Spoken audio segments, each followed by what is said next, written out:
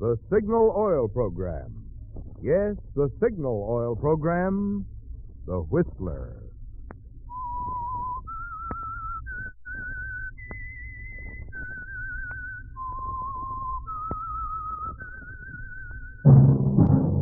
That whistle is your signal for the Signal Oil Program. The Whistler.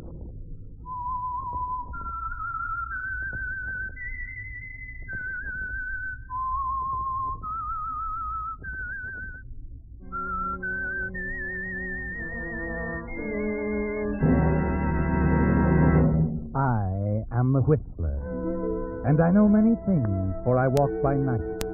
I know many strange tales hidden in the hearts of men and women who have stepped into the shadows. Yes, I know the nameless terrors of which they dare not speak.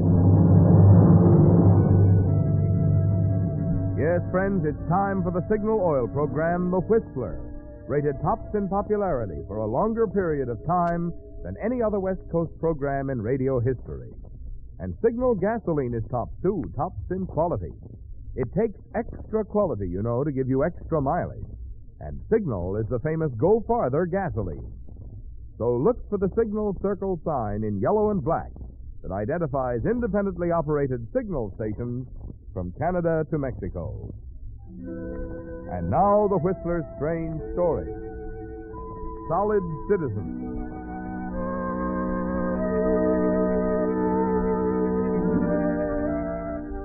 Harry Cummings stood at the window of the general store he'd inherited from his father, along with the goodwill the senior Cummings had built in the small fishing village of Bayville.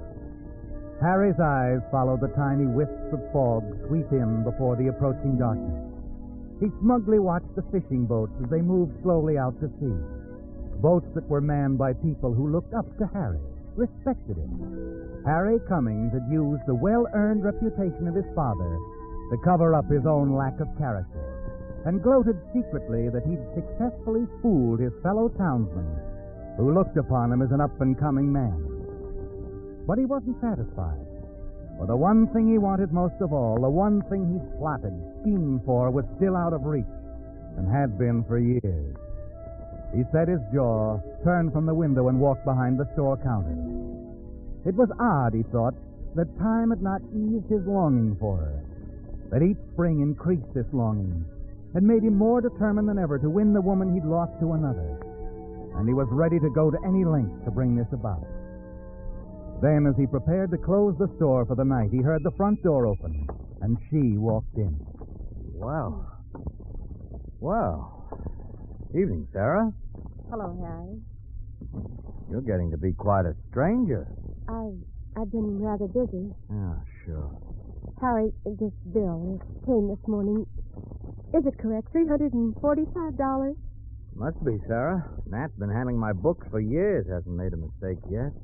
I I just thought that Jeff had paid something on it last month. He, he told me he would. Oh, don't worry. Jeff will take care of it soon, I'm sure. Well, the tuna runs in. Yeah, heavier than it's been in years. Why, Jeff's probably out there right now. No, no, he's been drinking again. He and that Frenchy Tobias. I don't know what's come over him, Harry. He's changed so. What's Frenchy?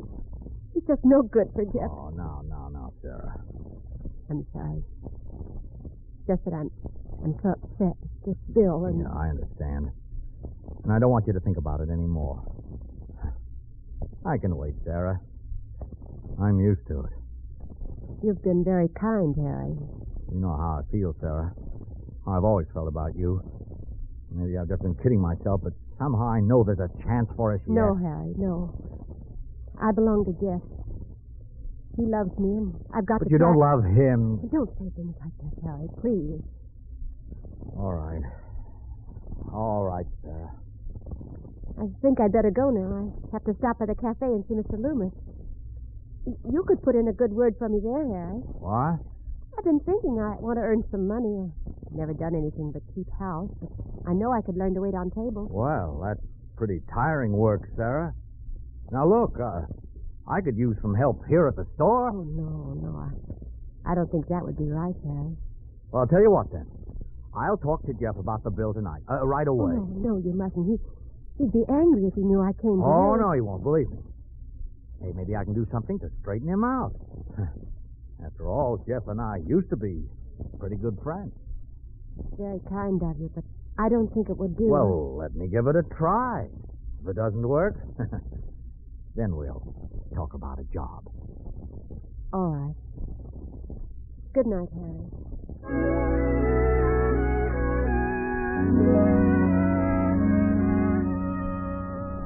Yes, Harry.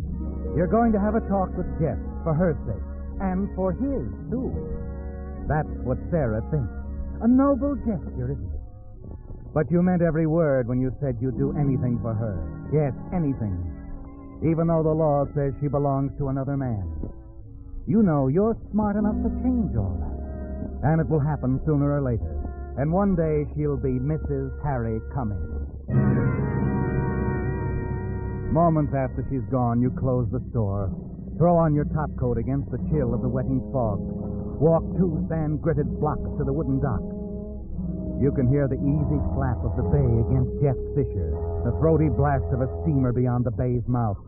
You climb aboard the small boat and make your way along the cluttered deck, and then stop before the cabin door.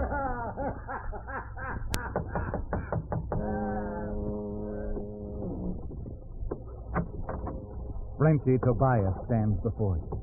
Over his shoulder, you can see Jeff Lancaster sitting at the table, a whiskey bottle within easy reach. He looks at you sullenly over a deck of cards he's shuffling. Well, Mr. Cummings, huh? Glad to have you aboard. Evening, Jeff. Frenchy, a chair for Mr. Cummings. Yeah, yeah, sure. So what brings you around? Your bill, Jeff. It's getting pretty steep. I was wondering if you'd be able to pay something on it before long. I don't get impatient. Pay off as soon as I get a good haul. You'll never get it anchored here in port. Now, look, solid citizen, I don't need you telling me when to fish. Get lost.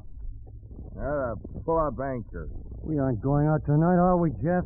The boys are expecting you at Joe's place. Fog's so thick now you wouldn't get out anyway. Ah, fog don't stop me. Never has yet. Well, I can send this boat three miles out without even touching the wheel. Taking quite a chance, aren't you? Oh, not me. I know this channel like my hand. Come here, I'll show you. I set the wheel like this and jam it with this chunk of wood. With it tied the way it is, she's headed seaward. I could start her up, put her in gear. Yeah. I've done it too, haven't I, Frankie? Yeah, sure, Jeff, but the boys are expecting Ah, you. go on over and tell the boys I can't make it. I'll warm her up. Okay. Okay, I'm going. And hurry back, we're sailing out.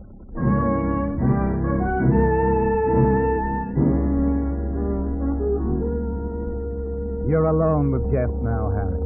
Watch him as he staggers back to the table, drops into the chair. He picks up the cards, shuffles them, then looks up at you and grins.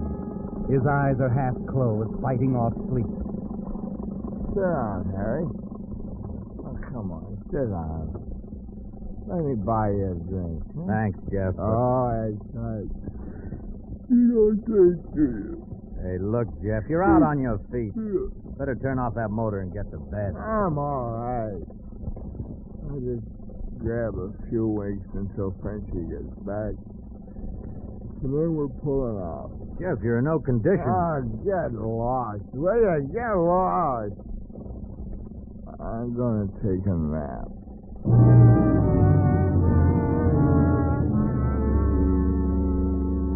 You watch him slump face down on the table. Your eyes swing around the cabin to the controls. You stare at the wheel jammed with a block of wood. And then suddenly the thought hits you. The sound of the motor begins to pound into your brain, and Jeff's words come back to you. I set the wheel like this. Jam it with this block of wood. I was it tied the way it is, she's headed seaward. I could start her up, put her in gear. You look back at Jeff, sound asleep. Then slowly you walk over to him and stand there for a moment. Then you reach over to the shelf behind him. and your hand closes around the heavy monkey wrench.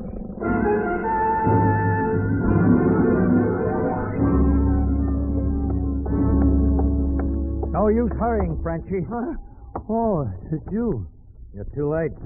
What? Well, you know how Jeff is when he's drunk. I couldn't talk him out of going. He decided not to wait. He sailed without you. He. He's just gone. That's right. He's gone.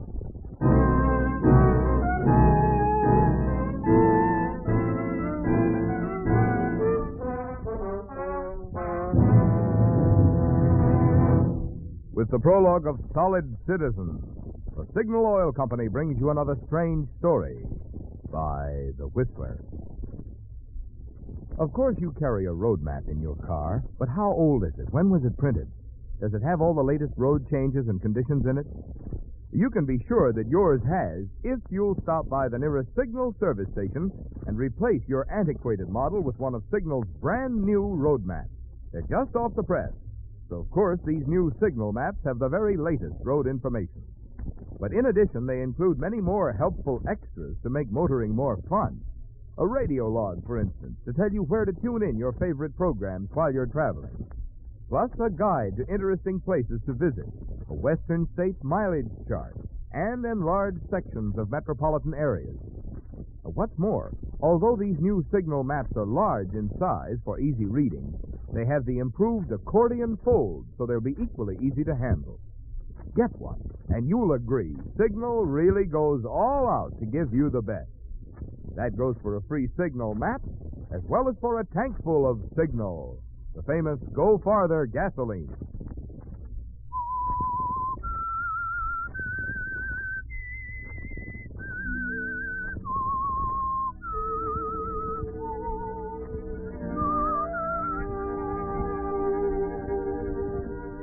You've schemed, plotted many things, but the thought of murder had never occurred to you before, had it, Harry?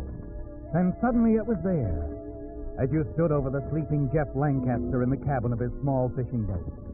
In a moment of swift decision, you found the solution to your problem, and it was all so simple.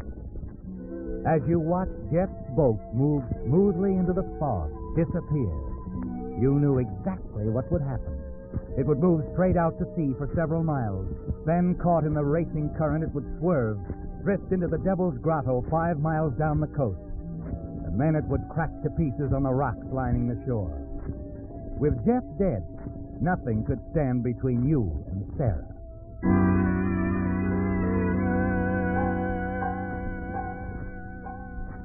You wait anxiously in the days that follow for news of the tragedy to reach the village.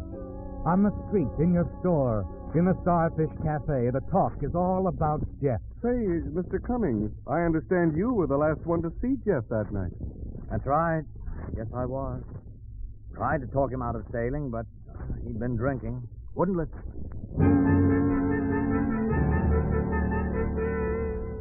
You find yourself repeating the lie over and over. And they believe you, don't they, Harry? Yes.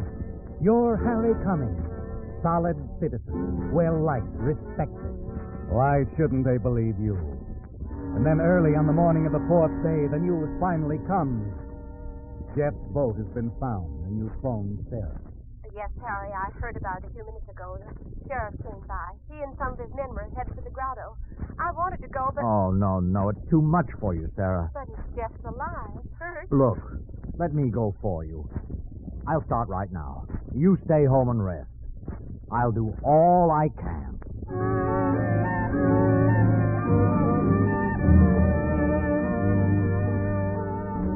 Three quarters of an hour later, you park your car high on the cliffs overlooking the treacherous grotto. Below you, a rock torn gash in her hull, Jeff's boat lies on a spot of sand beached by low tide.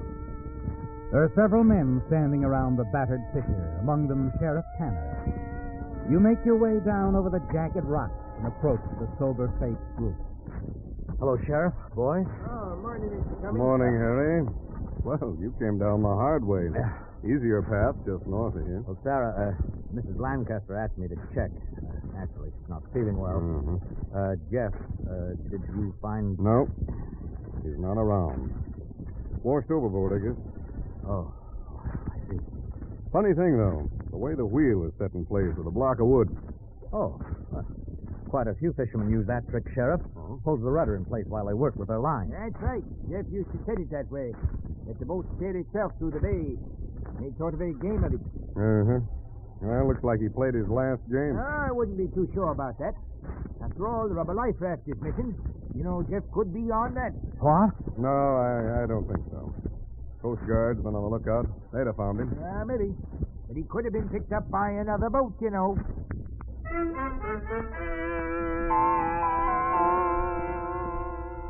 It's days later, and they still haven't found the body, have they, Harry? It bothers you, doesn't it? But you have other things to think of. Yes. Things like the accusations made by Frenchy Tobias to the sheriff. Frenchy here has been doing some crazy talking, Harry.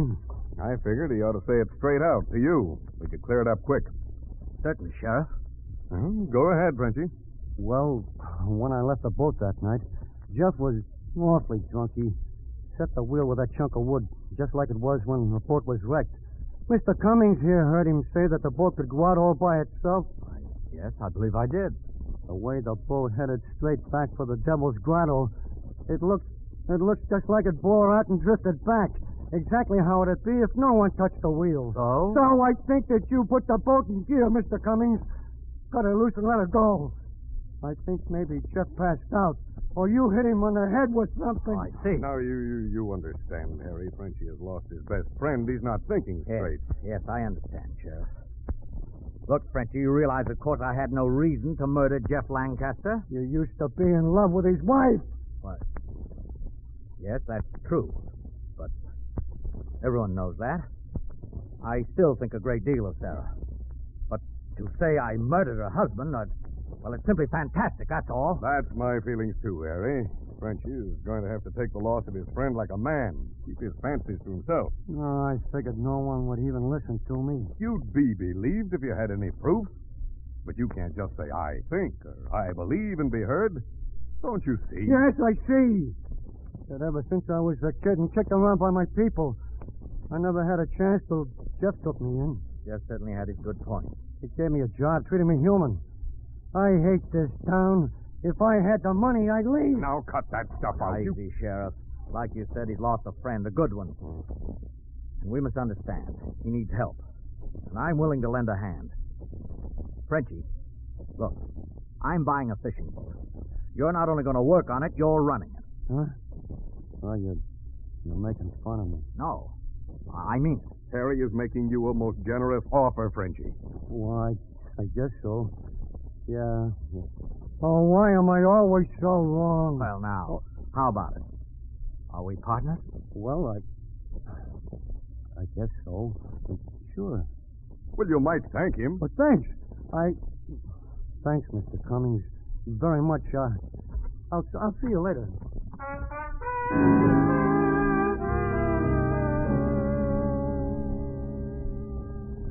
It was uncomfortably close, wasn't it, Harry? And now you have to buy a second-hand fishing boat and turn it over to Frenchy. But it's worth it, isn't it? Because you can stop worrying about him. Your action not only turns his anger into gratitude, it makes you a generous man in the admiring eyes of the town. Frenchy came in with his third load of tuna today, Harry. Yeah. Yeah, I watched him unload. Say, he's so proud of himself in that boat that he hasn't even hired a helper. Does all the work himself. He'll turn out fine, Sheriff. You'll see. sure. Thanks to you, Harry.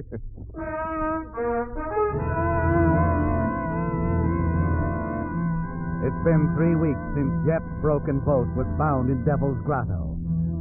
You gambled with murder, Harry. And now that Sarah's working for you at the store, you feel that you've won. You decide that it's time to start forming Sarah's thoughts your way. You've been very patient with her up to now, haven't you? Very patient. Then one evening, as you call on her at her house, you notice Sarah seems disturbed. Oh, it's, it's nothing really, Harry. I'm, I'm real jumpy, I guess.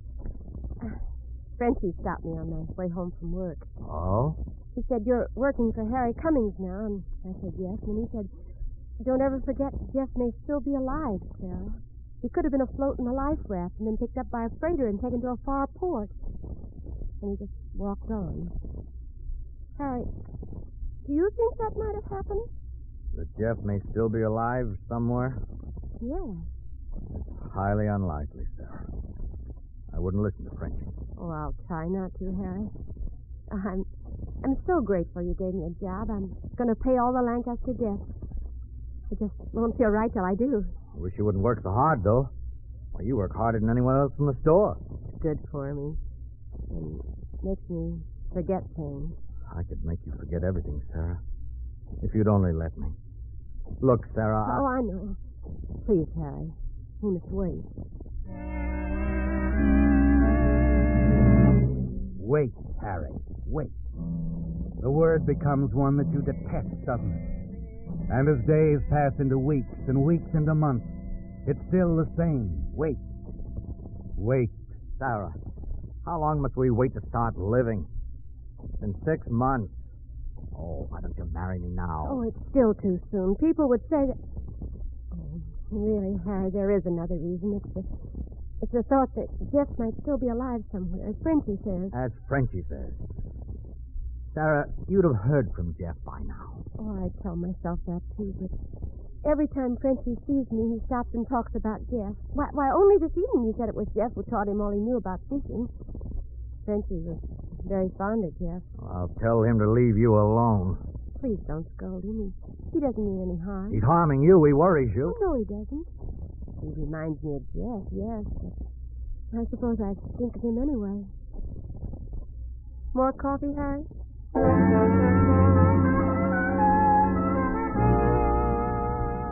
Frenchy's ruining everything, isn't he, Harry? Jeff's devoted friend. And you can't stand it much longer. The waiting must stop. And walking home that night, you know there's really only one way. It's been the answer before, hasn't it, Harry? You decide that it must serve you again. You walk past your own place that night, thinking it all out, step by step, discarding one method for another. And then, quite suddenly, you have it. And it's simple, isn't it? All you have to do is make sure of one thing. You do the very next day. Frenchy? Oh, Frenchy. Yeah? Oh, Mr. Cummings. Hello there. How was it today? Oh, fair catch, Mr. Cummings, but I came in early. Oh? You, uh, going out tonight? That's right. You're a hard worker, Frenchy. Best fisherman on the dock. Almost as good as Jeff Lancaster. Nobody's as good as Jeff Lancaster. Uh, he was a good teacher, wasn't he? Jeff? He taught me all I know. Yeah, sure, sure he did. Say, uh, you use the same method, don't you? Uh, I mean, even the block of wood on the wheel and all that. Oh, that's a good idea. Man can run his boat and get some rest, too. Yeah, yeah, I suppose so. and speaking of rest, Frenchy, you better get some for tonight. Well, I was just going up to my room, Mr. Cummings, making sure the boat was ready. That's all. Well, I'll I'll see you later. Yeah, sure, Frenchy. Sure you will.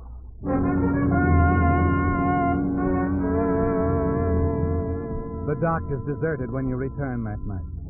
You've timed it so that you'll arrive a little before Frenchy does, because you've something to take care of. It doesn't take long, does it, Harry? A few sturdy blows with a heavy wrench, and you manage to loosen the sea cocks in the forward part of the boat. Not much. Just enough to let the water begin to seep into the hold. In an hour or so, the sea will accomplish the rest, won't it? Will go down with the boat, and the last threat to your happiness will be removed. Frenchy, the stupid, devoted friend who won't stop reminding Sarah that Jeff may be alive. A few minutes later, he comes onto the dock. Hello. Hello there. Somebody on board? Yeah, it's me, Frenchy. Oh, Mr. Cummings. Huh. I wanted to see you off on your trip. See me off? Oh, now look, Mr. Cummings, you didn't have to do that. This trip's no different than a dozen others I've made. You didn't have to come down and... Oh, you're wrong, Frenchy. I did have to come down. This trip is different. Mr. Cummings, I, I don't understand. Well, you will, partner. Come on, come aboard. We'll talk it over.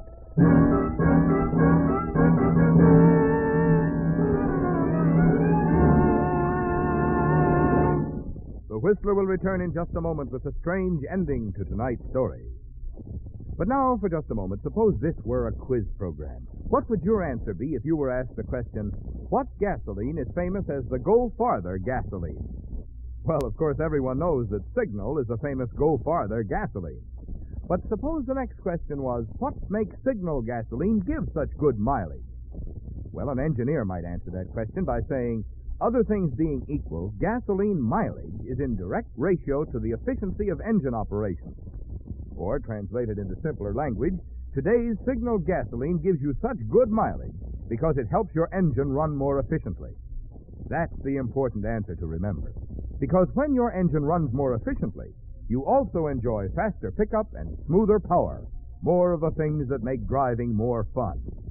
That's why, whether you're a driver who wants economy or one who demands performance, the answer is the same. You find both in Signal, the famous Go Farther gasoline. It's almost over, Harry. You have the monkey wrench in readiness. The same one you used to knock the sea cocks loose. And you know that at this moment water is already seeping into the forward hold. You're both in the cabin now, and you have only to knock Frenchy out and send the little boat out to sea. Anyway, in an hour or less, there will be enough seawater in the hold to sink her. Sink her deep. And then suddenly Frenchy has something to say. Something that surprises you. I, I don't know how you found out, Mr. Cummings. You, you seem to figure these things. Uh, anyway, you're right. This was to be a different trip. What do you mean, Frenchy? Well, I, I planned to run away. Steal the boat? Oh, no, I'd have sent it back somehow, but I wanted to leave this town, Mr. Cummings. Get away, go places where I'm not always reminded of Jeff. You're a good friend. Yeah. You've been a friend, too. Only I haven't well, been very grateful, I guess. Oh, you've been all right, Frenchy. Anyway, it doesn't matter. Yes, it does. You were trying to help me. And all the time I hated you. Thought things about you. Well, never mind that now, Frenchy. But I do mind. Jeff would mind, too. He wants Sarah to be happy with you or somebody. So I'm I'm going away, Mr. Well, Cummings. now, wait a minute. Sure, I know you want to stop me because you're kind and good. Well, you're not going to stop me, Mr. Cummings. Forgive me for this, but I'm not going to ruin your happiness anymore. Forgive you for what, Frenchy? I, I For don't... this! Oh.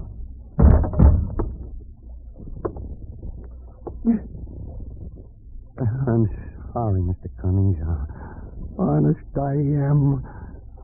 I didn't want to knock you out, much less tie you up. But I knew you'd talk me out of leaving if I didn't. That's the way you are. Always trying to help somebody. And I'm not worth helping. You stay here. On the boat! It's, it's really yours anyway. By the time you wake up, I'll be gone and out of your way. Goodbye, Mr. Cummings. I hope, hope you and Sarah will be very happy together.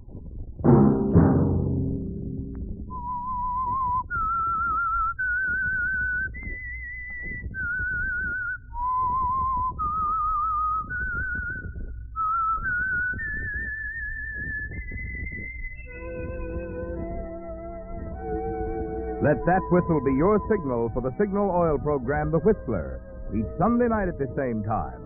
Brought to you by the Signal Oil Company, marketers of Signal gasoline and motor oil and fine quality automotive accessories. Signal has asked me to remind you to get the most driving pleasure. Drive at sensible speed. Be courteous and obey traffic regulations. It may save a life, possibly your own. Featured in tonight's story were Joseph Kearns, Sarah Selby, and Ross Forrester. The Whistler was produced and directed by George W. Allen, with story by Leona Shirley, music by Wilbur Hatch, and was transmitted to our troops overseas by the Armed Forces Radio Service. The Whistler is entirely fictional, and all characters portrayed on The Whistler are also fictional. Any similarity of names or resemblance to persons living or dead is purely coincidental. Remember at the same time next Sunday another strange tale by The Whistler. Marvin Miller speaking. This is CBS, the Columbia Broadcasting System.